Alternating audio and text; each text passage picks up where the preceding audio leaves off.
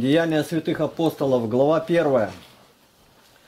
Первую книгу написал я к тебе, Феофил, о всем, что Иисус сделал и чему учил от начала, до того дня, в который Он вознесся, дав святым духом повеление апостолам, которых Он избрал, которым и явил себя живым по страдании своем, со многими верными доказательствами в продолжение сорока дней являясь им и говоря о Царстве Божием. И собрав их, он повелел им, не отлучайтесь из Иерусалима, но ждите обещанного от Отца, о чем вы слышали от меня. Ибо Иоанн крестил водою, а вы через несколько дней после сего будете крещены Духом Святым. Посему они, сойдя, спрашивали его, говоря, не в сие ли время, Господи, восстановляешь ты царство Израиля?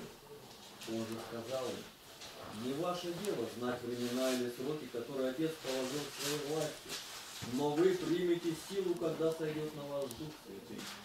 И будете мне свидетелями в Иерусалиме и во всей Иудее, Самарии и даже до края земли. Сказав сие, он поднялся в глазах их, и облако взяло его из вида их. И когда они смотрели на небо, во время восхождения его вдруг представили им два мужа в белой одежде и сказали, «Мужи галилейские, что вы стоите и смотрите на небо? Сей Иисус, вознесшийся от вас на небо, придет таким же образом, как вы видели его восходящим на небо». Тогда они возвратились в Иерусалим с горы, называемой Гилеон, которая находится вблизи Иерусалима в расстоянии субботнего пути. И придя, зашли в горницу, где пребывали Петр, Иаков, Иак, и Андрей, Филипп, Фома, Варфоломей, Матфей, Иаков Алфеев, и Симон Зелот, и Иуда, брат Иакова. Все они единодушно пребывали в молитве и молении с некоторыми женами Марию, матерью Иисуса, и с братьями его. И в те дни Петр, став посреди учеников, сказал, было же собрание человек около 120, Мужи-братья, надлежало исполниться тому, что в Писании предрек Дух Святый устами Давида об Иуде, бывшем вожде тех, которые взяли Иисуса. Он был сопричислен к нам и получил жеребий служения сего, но приобрел землю неправедную мздою, и когда не зринулось, не зринулся, расселось чрево его, и выпали все внутренности – и это сделалось известно всем жителям Иерусалима. Так что земля-то на отечественном их наречии названа Акелдама, то есть земля крови. В книге же псалмов написано, да будет двор его пуст, и да не будет живущего в нем, и достоинство его да приимет другой и почили по одному на каждом из них. Да, и пускай читает. И исполнились все Духа Святаго и начали говорить на иных языках, как Дух давал им провещевать. В Иерусалиме же находились иудеи, люди набожные, из всякого народа под небом. Когда сделался этот шум, собрался народ и пришел в смятение, ибо каждый слышал их, говорящих его наречием. И все изумлялись и дивились, говоря между собою, «Сии говорящие, не все ли галилеяне?» Как же мы слышим каждый собственное наречие, в котором родились парфяне и медяне, и еламиты, и жители Месопотамии, Иудеи и Каппадокии, Понта и Асии, Фригии и Памфилии, Египта и частей Ливии, и Веселии, пищу в веселье и простоте сердца, хваля Бога и находясь в любви у всего народа. Господь же ежедневно прилагал спасаемых к церкви.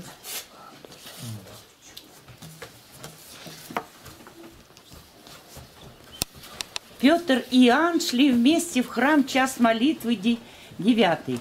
И был человек хромой от чрева матери его, которого носили и сажали каждый день при дверях храма – называемых красными, просить милостыни у входящих в храм. Он увидел Петра и Иоанна перед входом в храм, просил у них милостыни. Петр с Иоанном, смотревши с него, сказали, «Взгляни на нас!» И пристально посмотрел на них, надеясь получить от них что-нибудь? Пострадать Христу, как и исполнил. Итак, покайтесь.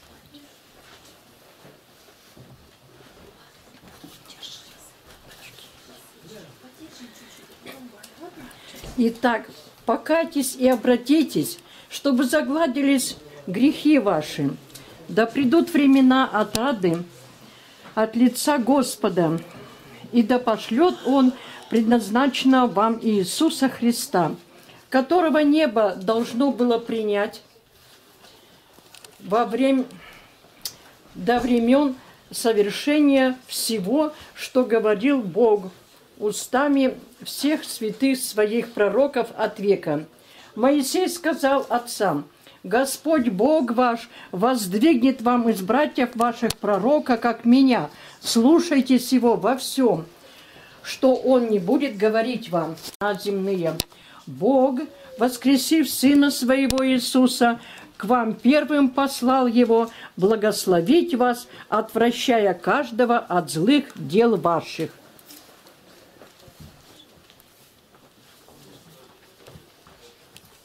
Глава 4. Когда они говорили к народу, к ним приступили священники и начальники стражи при храме и садукеи. Досадуя на то, что они учат народ и проповедуют в Иисусе воскресении из мертвых. И наложили на них руки и отдали их под стражу до утра, ибо уже был вечер. Многие же из слушавших слово уверовали, и было число таковых людей около пяти тысяч. На другой день собрались в Иерусалим начальники их и старейшины, и книжники, и Анна первосвященник, и Каиафа, и Иоанн, помазанного тобою, Ирод, и Понтий Пилат с язычниками и народом израильским. чтобы сделать то, чему быть предопределила рука Твоя и совет Твой. И ныне, Господи, возри на угрозы их, и дай рабам Твоим со всей смелостью говорить Слово Твое, тогда как Ты простираешь руку Твою на исцеление и на соделание знамений чудес именем Святого Сына Твоего Иисуса. И помоли Ты их, поколебалось место, где они были собраны, и исполнились все Духа Святаго, и говорили Слово Божие с дерзновением. У множества же уверовавших было одно сердце и одна душа, и никто ничего не имея, из, из имения своего не называл своим, но все у них было общее. Апостолы же с великой силой свидетельствовали о воскресении Господа Иисуса Христа, и великая благодать была на всех их. Не было между ними никого нуждающегося, ибо все, которые владели землями и домами, продавали их и приносили цену проданного, и полагали к ногам апостолов, и каждому давалось в чем кто имел нужду. Так Иосия, прозванный от апостолов Варнавою, что значит сын утешения, левит родом киприянин, у которого была своя земля, продав ее, принес деньги и положил к ногам апостолов. Глава 5. Некоторый же муж именем Анания с женой своей Сапфирою, продав имение, утаил из цены сведома их жены своей, а некоторую часть принес и положил к ногам апостолов. Но Петр сказал, Анания, для чего ты допустил сатане вложить в сердце твое мысль солгать Духу Святому и утаить из цены земли? Чем ты владел, не твое ли было? И приобретенная продажу не в твоей ли власти находилась? Для чего ты положил это в сердце твоем? Ты солгал не человеком, а Богу. Услышав сии слова, Анания пал бездыханен, и великий страх овеял всех слышавших это. И встав, юноши приготовили его к погребению и вынеся похоронили. Часа через три после сего пришла и жена его, не зная о случившемся. Петр же спросил ее, скажи мне, за столько ли продали вы землю? Она сказала, да, за столько. Но Петр сказал ей, что это согласились вы искусить Духа Господня?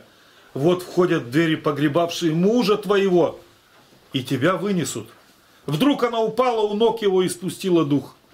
И юноши, войдя, нашли ее мертвою, и, вынеся, похоронили подле мужа ее. И великий страх объял всю церковь и всех слышавших это. Руками же апостолов совершались в народе многие знамения и чудеса, и ввели их в народную темницу. Но ангел Господень ночью отворил дверь темницы и, выведя их, сказал, Идите и, став во храме, говорите народу все сии слова жизни. Они, выслушав, вошли утром в храм и учили. Между тем первосвященник, и которые с ним, придя, созвали Синедрион и всех старейшин из сынов Израилевых и послали в темницу привести апостолов. Но служители, придя, не нашли их в темнице, и, возвратившись, донесли, говоря, Темницу мы нашли запертую со всей предосторожностью и стражей, стоящими перед дверями, но, отворив, не нашли в ней никого. Когда услышали эти слова, первосвященник, начальник стражи и прочие первосвященники недоумевали, что бы это значило. Пришел же некто и донес им, говоря, «Вот мужи, которых вы заключили в темницу, стоят в храме и учат народ». Тогда начальник стражи пошел со служителями и привел их без принуждения, потому что боялись народа, чтобы не побили их камнями. Приведя же их, постави, поставили в Синедрионе, и спросил их первосвященник, говоря, не запретили ли мы вам накрепко учить о имени сим? И вот вы наполнили Иерусалим учением вашим и хотите навести на нас кровь того человека. Петр же и апостолы, что вам с ними делать? Ибо незадолго перед сим явился Февдор, выдавая себя за кого-то великого, и к нему пристало около четырехсот человек. Но он был убит, и все, которые слушались его, рассеялись и исчезли. После него во время переписи явился Иуда Галилеянин и увлек за собой довольно народа. Но он погиб, и все, которые слушались его, рассыпались. И ныне говорю вам, отстаньте от этих лю от людей сих и оставьте их, ибо если предприятие и, и это дело от человека, то оно разрушится. А если от Бога, то вы не можете разрушить его. Берегитесь, чтобы вам не оказаться и богопротивниками. Они послушались его, и, призвав апостолов, били их, и, запретив им говорить о имени Иисуса, отпустили их. Они же пошли из Синедриона, радуясь, что за имя Господа Иисуса удостоились принять бесчестие. И всякий день в храме и по домам не переставали учить и благовествовать о Христе Иисусе. В эти дни, когда умножились ученики, произошел у эллинистов ропот на евреев –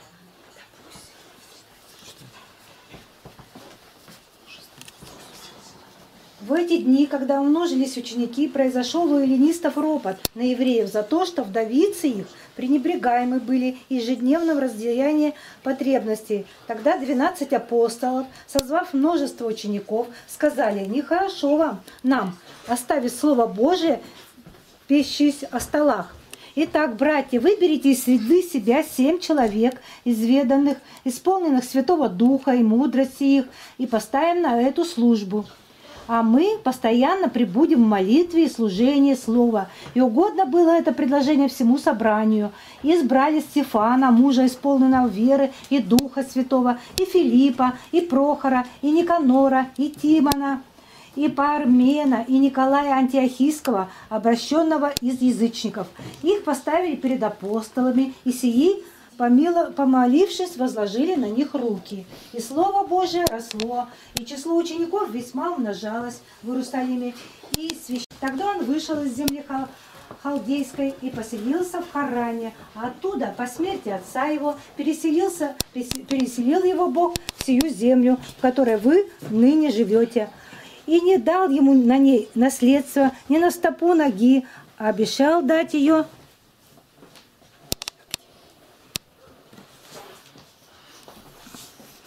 и обещал дать. И не дал ему на ней наследство не на сто ноги и обещал дать ее во владение ему и потомство его по нем, когда еще был он бездетен. И сказал ему Бог, что потомки его будут переселенцами в чужой земле и будут в порабощении и притеснении лет четыреста.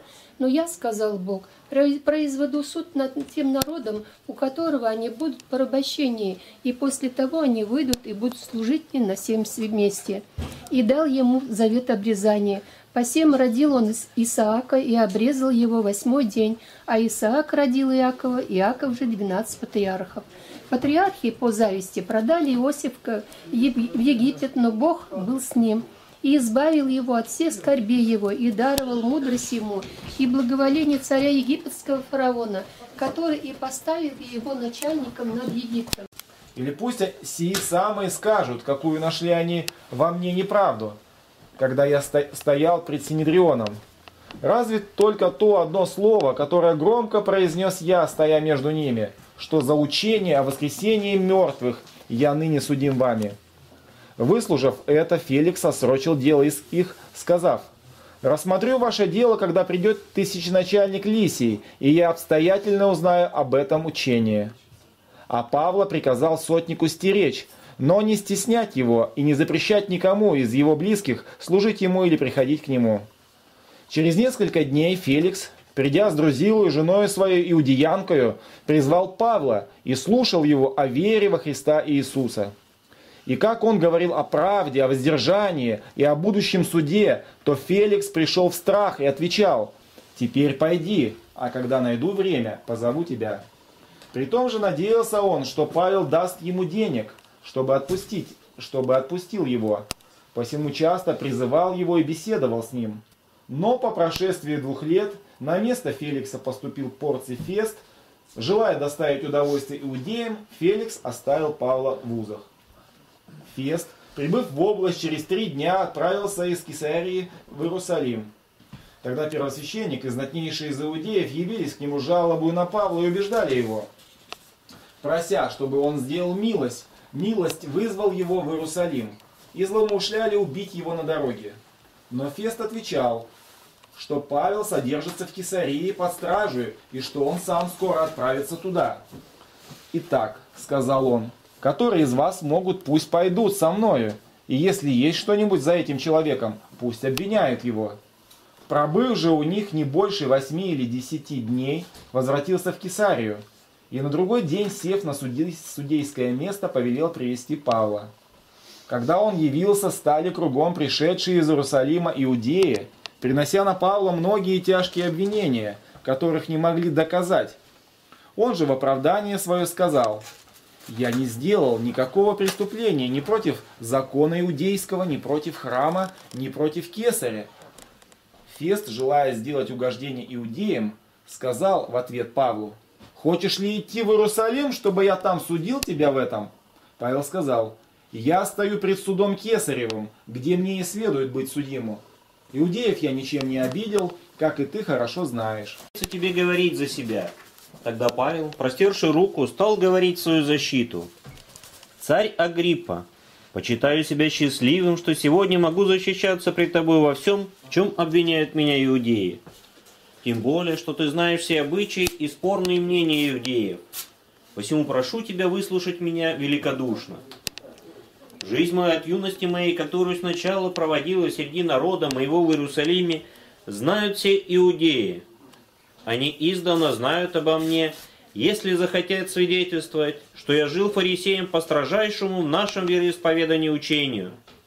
И ныне я стою пред судом за надежду на обетование, данное от Бога нашим отцам, которого исполнению надеются увидеть наши двенадцать колен, усердно служа Богу день и ночь. За сию-то надежду царя Гриппа обвиняют меня иудеи. Что же? Неужели вы невероятным почитаете, что Бог воскрешает мертвых? Правда, и я думал, что мне должно много действовать против имени Иисуса Назарея. Это я делал в Иерусалиме, получив власть от первосвященников. Я многих святых заключал в темнице, и когда убивали их, я подавал на то голос. По всем синагогам я многократно мучил их и принуждал хулить Иисуса, и в чрезмерной против них ярости преследовал даже и в чужих городах. Для сего, идя в Дамас со властью и поручением от первосвященников, среди дня на дороге я увидел, государь, с неба свет, превосходящее солнечное сияние, осиявший меня и шедших со мною. Все мы упали на землю, и я услышал голос, говоривший мне на еврейском языке. Саву, Саву, свидетельствуя малому и великому, ничего не говоря, кроме того, о чем пророки и Моисей говорили, что это будет. То есть, что Христос имел пострадать и восстав первый из мертвых, возвестить свет народу иудейскому язычникам. Когда он так защищался, Фест громким голосом сказал, «Безумствуешь ты, Павел, больше большая ученость доводит тебя до сумасшествия».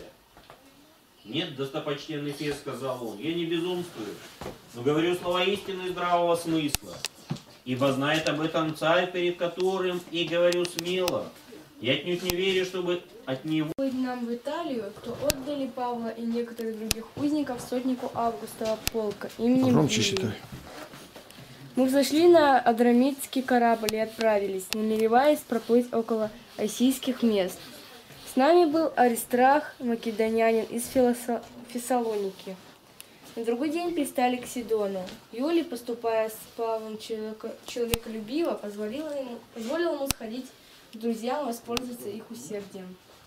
Отправившись ту- э, оттуда, мы приплыли в Кипр э, по причине противных ветров. И переплыв море, море против Киликии и Памфилии, прибыли в мир Ликийский. Там сотник нашел Александрийский Спасшись же бывшие с Павлом узнали, что остров называется Мелит. И наплеменники оказали нам немало человеколюбия, ибо они по причине бывшего дождя и холода разложили огонь и приняли всех нас. Когда же Павел набрал множество хвороста и клал на огонь, то ехидно, выйдя от жара, повисла на руке его. И наплеменники, когда увидели висящую на руке его змею, говорили друг другу, «Верно, этот человек убийца, когда его спасшегося от моря суд Божий не оставляет жить». Но он, стряхнув змею в огонь, не потерпел никакого вреда.